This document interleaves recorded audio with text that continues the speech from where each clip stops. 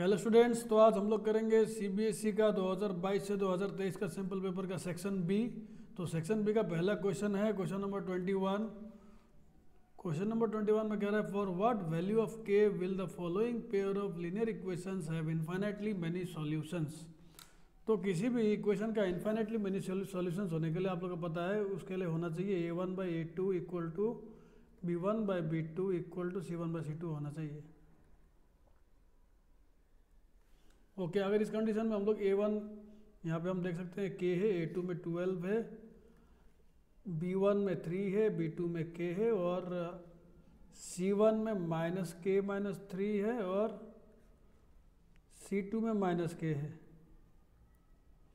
तो यहाँ से अगर हम लोग इतना पोर्शन को अगर इक्वल लिख लें तो मेरे को क्या मिलता है? देखिए K by twelve equal to three by K that means K square equal to thirty six और यहाँ से K equal to root thirty six और मेरे को के मिल जाएगा प्लस माइनस सिक्स अब यहाँ पे के के दो वैल्यूज़ आ गए हैं। देखना है मेरे को कि के का वैल्यू प्लस सिक्स लूँ या माइनस सिक्स लूँ। तो मैं जब देखता हूँ कि के का वैल्यू प्लस सिक्स बैठाऊँ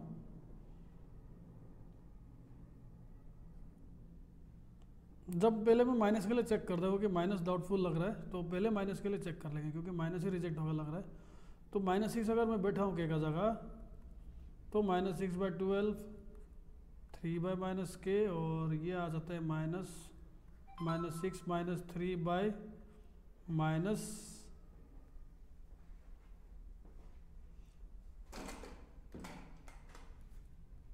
minus का माइनस सिक्स आप लोग ध्यान से देखिए, ये आ जाएगा माइनस वन बाई टू कटने के बाद।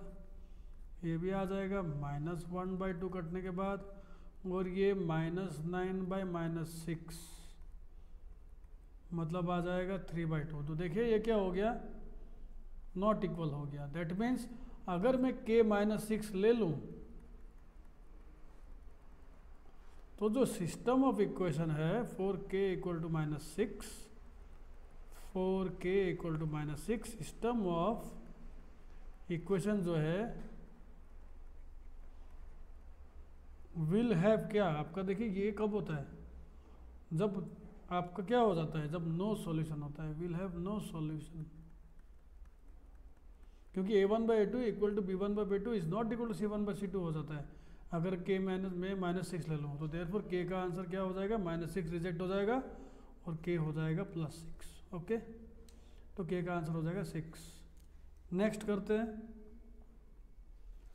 ये फिगर दिया हुआ, इसमें एल्टीट्यूड दिया गया ए डी और सी सी भी एल्टीट्यूड है और ए डी भी एल्टीट्यूड है। आपको दिख रहा है फिगर क्लियरली तो यहाँ पे और एक चीज़ ए बी सी जो है है ना? एल्टीट्यूड जो बोल रहा है पी पॉइंट में इंटरसेक्ट कर रहा है। ओके हमें प्रूव करना है ये दोनों ट्राइंगल को सिमिलर तो सिमिलर प्रूव करना है तो आप देखिए, मैं एक बार ट्राइंगल बना लेता हूँ। ए बी डी ना? ए बी डी आप लोग बना लेंगे हम लोग। कुछ ऐसा है A B D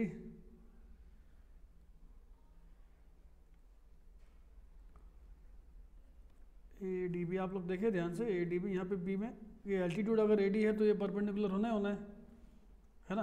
अच्छा दूसरा ट्रायंगल क्या है? सी बी ई सी बी ई भी बना लेता हूँ मैं, कुछ ऐसा है। सी ई बी देखो मैंने वहीं से जो फिगर है, वहीं से मैंने दो पार्ट में आपको फिगर निकाल कर दिखाया। अब यहाँ पे हम ज़्यादा अच्छे से समझ पाएँगे देन रेदर देन वो इमेज या जो फिगर देखो यहाँ पे क्लियरली पता चल रहा है कि ये वाला बी और ये वाला बी कॉमन है, दोनों में ही है। और सी एल्टीट्यूड है और ए डी भी एल्टीट्यूड है तो सी भी परपेंडिकुलर होगा तो क्लियरली पता चल रहा है। हम इस तरह से लिखेंगे in triangle A B D and triangle C B E मेरे को क्लियरली पता है कि ए डी बी जो है, वो बराबर है सी ई बी का, क्योंकि दोनों 90 डिग्री है, क्योंकि एल्टीट्यूड ईच 90 डिग्री दूसरा मेरे को क्लियरली पता है कि एंगल भी तो दोनों में है तो common angle common angle that means क्या बाय एंगल एंगल क्राइटेरिया ये दोनों क्या हो गए आपके? तो मैं लिखूँगा therefore triangle D similar to triangle C B E clear है? ये हो गया फ़र्स्ट पोर्शन और एक क्वेश्चन दिया हुआ है यहाँ पे मेरे को। दूसरे क्वेश्चन में क्या बोला हुआ है? देखिए टू में। टू में मेरे को बोला हुआ है कि पी डी सी जो ट्रायंगल है है ना? सी ट्राइंगल और बी बी ई सी को कॉन्ग्रेंट प्रूफ करना है। ओके तो पी डी सी कहाँ पे? देखिए पी डी सी छोटा सा मेरे को दिख रहा है यहाँ पे। फिगर में देखिए, छोटा सा पी डी सी दिख रहा है आपको ऐसे। जो कि 90 डिग्री है सी पी डी और एक ट्रायंगल क्या है? बी ई सी आप लोग ध्यान से देखिए बी ई सी फिगर में कहाँ पे है आपका? वही बड़ा वाला।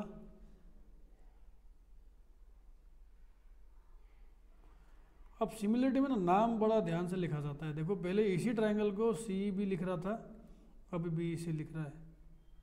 है ना? तो यहाँ पे भी सेम वही बात हो गया। ठीक है?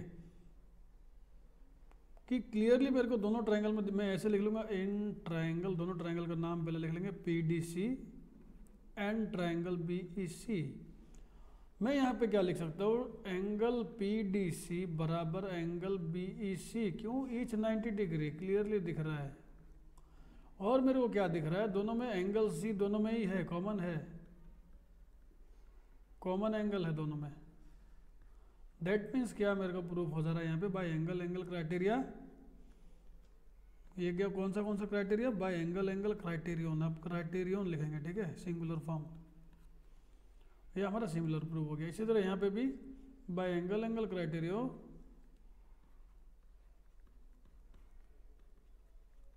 both are similar okay तो प्रूव्ड हो गया। क्लियर है? ट्वेंटी टू हो गया। नेक्स्ट में चलते हैं। ट्वेंटी टू का और पार्ट है, और एक क्वेश्चन है ट्वेंटी टू में।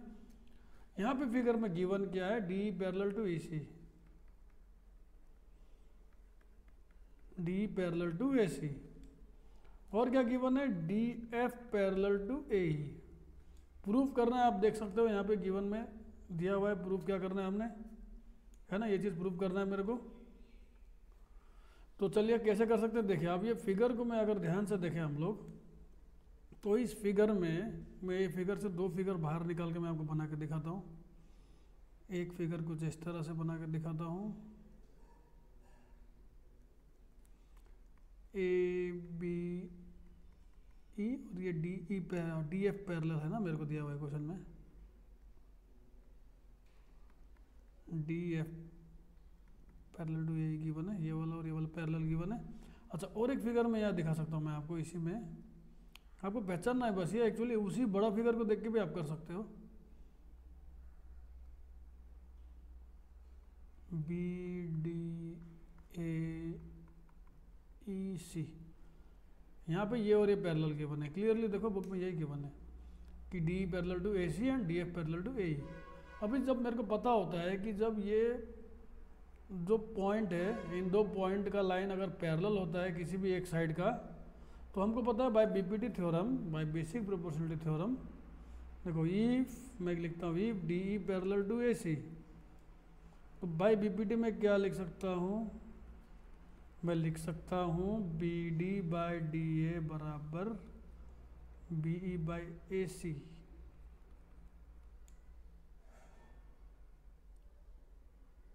okay. और अगर इस ट्रायंगल का काम हो गया, अब इस ट्रायंगल में आते हैं। अगर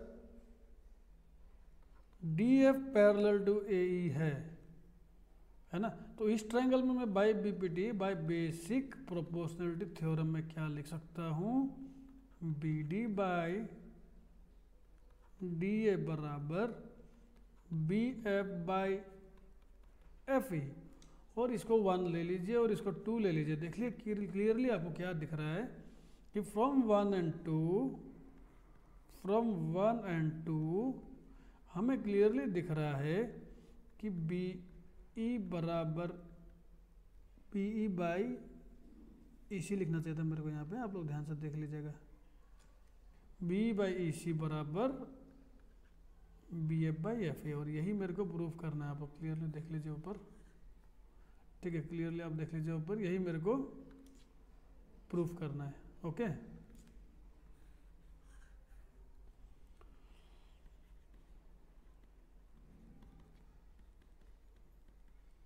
ओके नेक्स्ट का नेक्स्ट में आते हैं।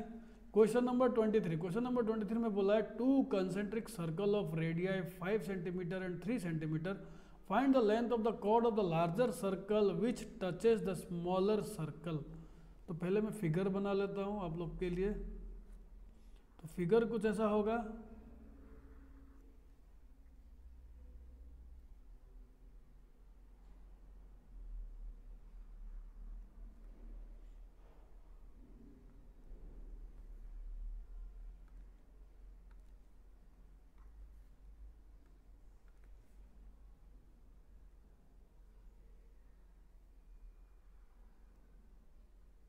ये हो गया फिगर आपका। ठीक है? तो फिगर में क्या बोला है कि दो कंसेंट्रिक सर्कल है। ठीक है? बना दिया मैंने कंसेंट्रिक सर्कल बड़ा सर्कल का जो रेडियाई है, सोचो ये मैंने ज्वाइन कर दिया इस तरह से। ये पॉइंट को ये भी ले लिया। ये सेंटर है दोनों का। तो मैं लिखूँगा consider two concentric circle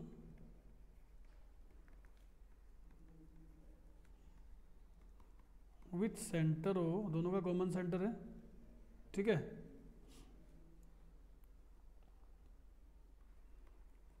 where क्या? रेडियाई ऑफ़ या रेडियस ऑफ़ सिंगुलर में लिखते हैं radius of bigger circle is five centimetre and radius of ऐसे हम लोग लिख लेना है। Smaller circle is because figure given नहीं था हमें तो फिगर हम बना रहे तो हम जो फिगर बना रहे हैं उसको कंसीडर कर रहे हैं ऐसा लिखेंगे हम ये फिगर कंसीडर कर रहे हैं और इस फिगर में ये फाइव है। अच्छा ये वाला जो देखिए मैं एक एक, एक लाइन बनाऊँगा एक रेडियस यहाँ बनाऊँगा ये वाला कितना हो जाएगा फिर थ्री एज पर क्वेश्चन ठीक है? और ये पॉइंट का नाम मैं पी दे देता हूँ। तो अभी एक चीज़ मेरे को आप क्लियरली आप देख सकते हो यहाँ पे कि ओ पी जो है वो परपेंडिकुलर हो जाएगा ए बी का। क्यों? क्योंकि ओ पी रेडियस है और आपको पता है रेडियस हमेशा परपेंडिकुलर होता है किसका? टेंजेंट का। है ना? तो ओ पी जो है हमारा परपेंडिकुलर हो जाएगा। इतना आपको क्लियर पता है? अच्छा और एक फिर थ्योरम यहाँ लग जाएगा। अगर ओ पी परपेंड क्योंकि ओ पी रेडियस है, छोटा सर्कल का और ए बी टेंजेंट है, बड़ा सर्कल का। क्लियरली दिख रहा है कि ओ पी छोटा सर्कल का रेडियस है और ए बी जो है वो बड़ा सर्कल का टेंजेंट है। तो ऑब्वियसली ओ पी परपेंडिकुलर तो होगा टेंजेंट का। और एक थ्योरी में लग जाएगा कि अगर परपेंडिकुलर सेंटर से अगर आए, जैसे कि ओ पी अब परपेंडिकुलर है हमको पता चल चुका है, अगर वो सेंटर से अगर आए और वो फ़िलहाल ए बी क्या है? देखिए, आपको क्लियरली पता है, छोटा सर्कल के लिए ए बी टेंजेंट है और बड़ा सर्कल के लिए ए बी क्या है? कॉर्ड है है ना?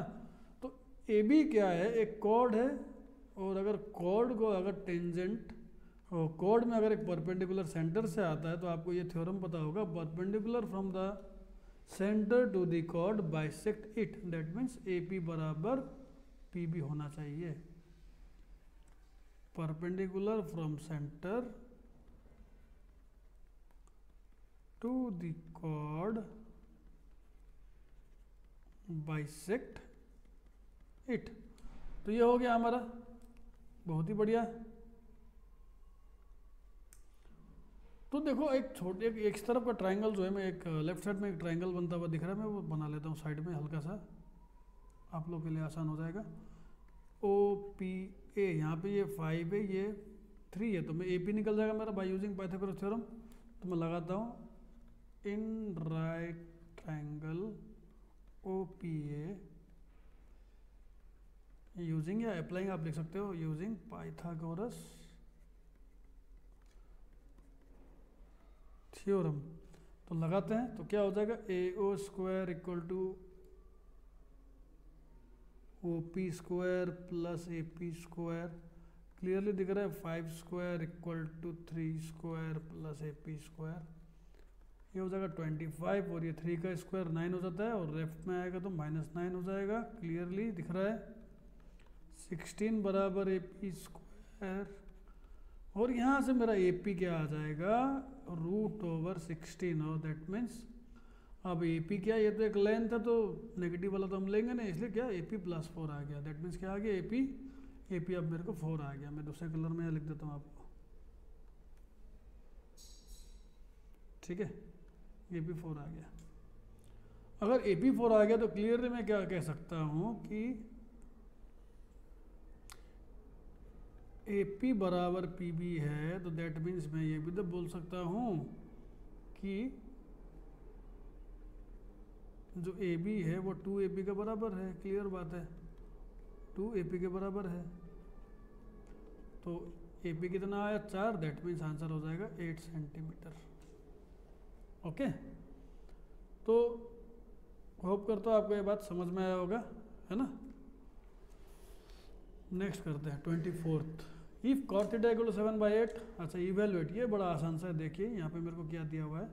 One plus sine theta into one minus sine theta by one plus cos theta into one minus cos theta clear अगर a plus b a minus b लगाएँ तो ये क्या आ जाता है?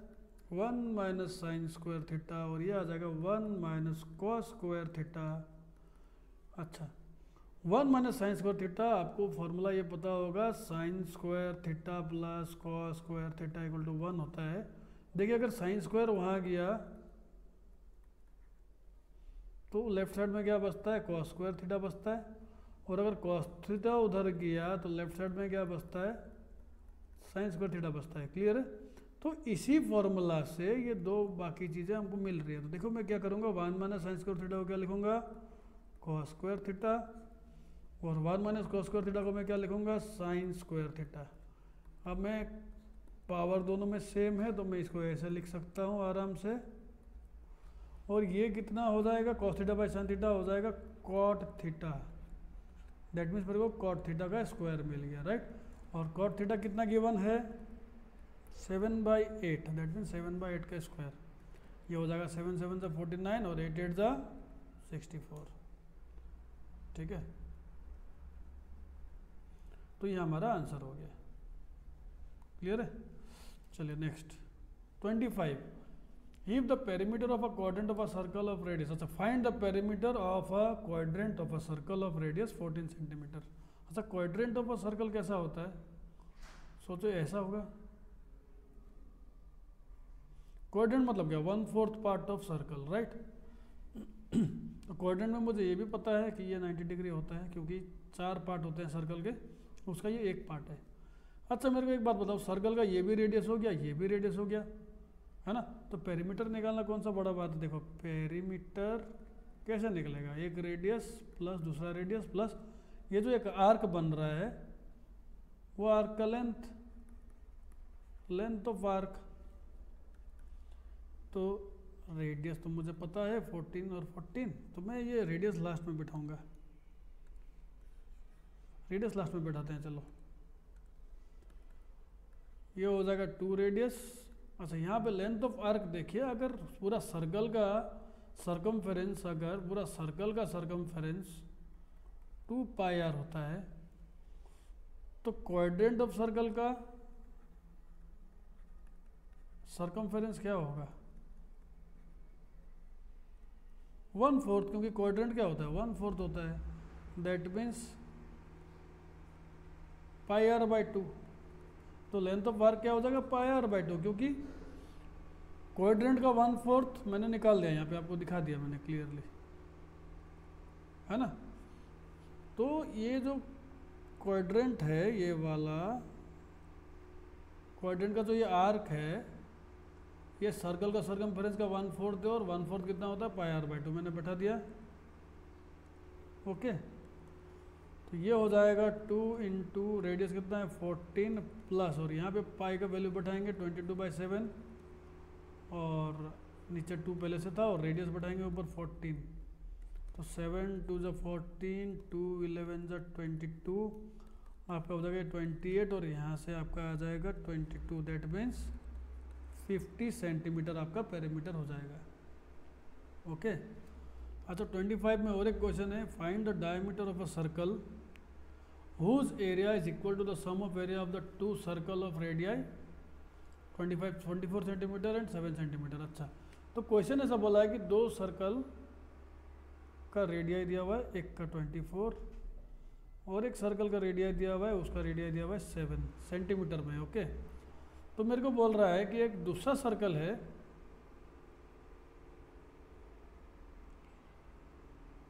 ठीक है?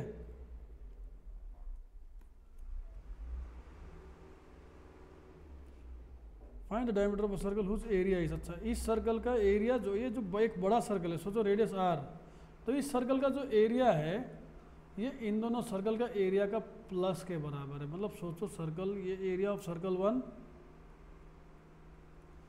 plus सोचो ये सर्कल वन ये सर्कल टू और ये एक बड़ा सर्कल तो एरिया ऑफ़ सर्कल टू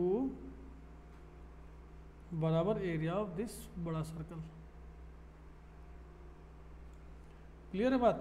तो इसका एरिया का फॉर्मूला क्या होता है? पाई आर स्क्वायर मतलब pi into twenty four square यहाँ पे हो जाएगा पाई इंटू सेवन स्क्वायर यहाँ पे हो जाएगा पाई इंटू कैपिटल आर का स्क्वायर पाई कॉमन निकाले, ये हो जाएगा ट्वेंटी फोर का स्क्वायर ये हो जाएगा सेवन का स्क्वायर ये हो जाएगा तो पाई तो कटना ही कटना है, आप इधर से उधर ले जाएँगे तो। ये आ जाएगा फाइव सेवेंटी सिक्स ये हो जाएगा फोर्टीन नाइन और ये हो जाएगा आर स्क्वायर अच्छा five seventy six plus forty nine करेंगे तो आपका आ जाएगा सिक्स ट्वेंटी फाइव ओके तो मेरा रेडियस कितना अगर आप देखिए clearly r is equal to root over six twenty five हो जाएगा क्योंकि स्क्वायर जाएगा उस तरफ़. और मेरा जो ये बड़ा सर्कल का रेडियस आ जाएगा प्लस माइनस ट्वेंटी फाइव लेकिन मैं माइनस नहीं लूँगा क्योंकि रेडियस है नेगेटिव नहीं हो सकता. तो प्लस ट्वेंटी फाइव ओके तो रेडियस प्लस ट्वेंटी फाइव आया, मुझे निकालना था डायमीटर ऑफ़ दिस सर्कल है ना? तो डायमीटर जो रिक्वायर्ड डायमीटर था, वो आंसर मेरा इस तरह से लिख देंगे देर फॉर रिक्वायर्ड डायमीटर कितना? Two into twenty five that means fifty centimetre okay? तो चलिए ट्वेंटी फाइव का भी हो जा रहा है, दोनों क्वेश्चन करते ट्वेंटी फाइव का।